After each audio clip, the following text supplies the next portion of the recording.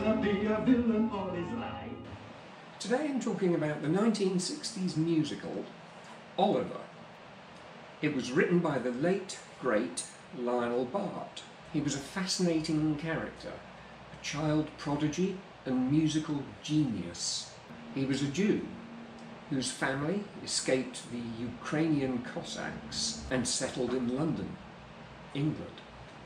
With his magnum opus, Oliver, he almost single handedly launched the British musical scene, which had previously been dominated by the Americans. Oliver opened in 1960 and had record breaking runs in both the West End and on Broadway. I'm not generally a fan of musical, but I have a huge fondness for this one. My Victorian ancestry is from the East End of London, and I have a personal interest in the crimes known as the Whitechapel murders, and I feel I know quite a bit about the history of that part of London. So, not surprisingly, I have a copy of the musical on DVD. My favourite character is Fagin, played on the opening night in 1960 by Ron Moody, the great British character actor.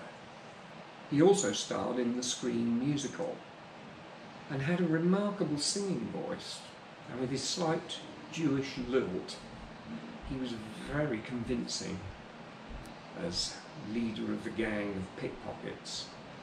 With all this success on stage and screen, you'd think that Lionel Bart would have lived a long and happy life, enjoying the fruits of his labours. But that wasn't the case. He lived a very sad latter part of his life. After Oliver, he had several other projects which he tried to fund himself. But running out of money, he made the disastrous mistake of selling the rights to all his present and future work, including Oliver, to Max Bygraves, the rather smarmy English entertainer. What's worse is that Bygraves gave him a mere £350. Hardly seems possible. In fact, it was all wrong because Bygraves would go on to sell those rights on for a quarter of a million. Still small money in terms of the present day, but a lot back then. He was bankrupt by 1972. For the last 20 years of his life, Lionel Bart had no more big success and suffered from depression and alcoholism. All of this took place at a fairly important period in my life. I was just starting at age 12 St Peter's School for Boys in West Southbourne in Bournemouth. The school had a reputation for great dramatic productions each year and in fact had just finished the construction of a new 500 plus seat theatre tiered seating, an orchestra pit.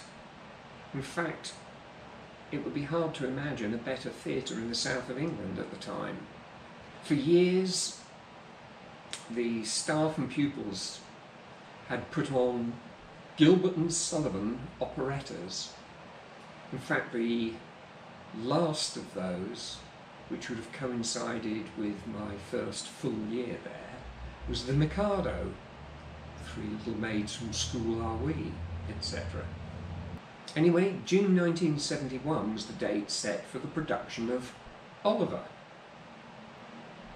Our singing voices had been carefully listened to, and I was selected to be one of the workhouse boys and one of Fagin's gang of pickpockets. I can remember going home with my copy of the score learning all the words to all the songs, and I still know them all to this day.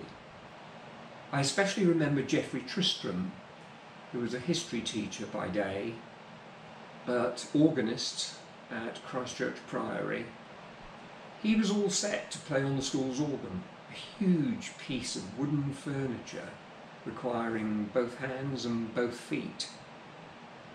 But on the opening night, the organ failed, and instead he played the entire score on grand piano.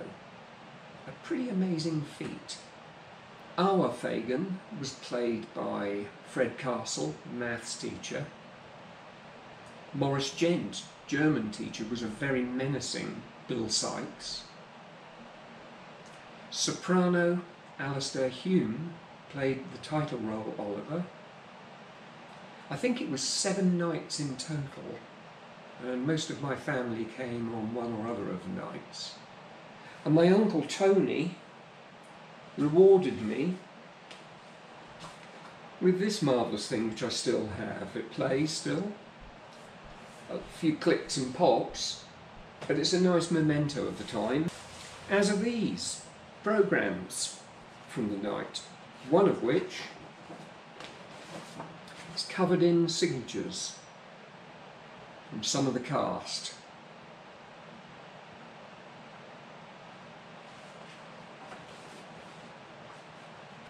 So you can see of late I've been wallowing in nostalgia.